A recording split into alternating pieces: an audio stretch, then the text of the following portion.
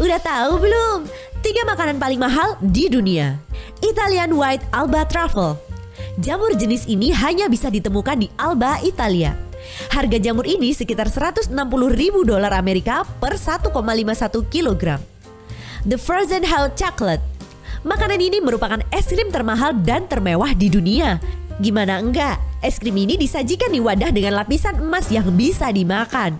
Gak cuma sampai situ, makanan ini juga dihiasi dengan gelang emas 18 karat. Ditambah lagi satu karat berlian. Kaviar almas. Kaviar jenis ini berasal dari Iran dan sangat langka. Yang bikin makanan ini spesial adalah ditaruh di wadah yang terbuat dari emas 24 karat.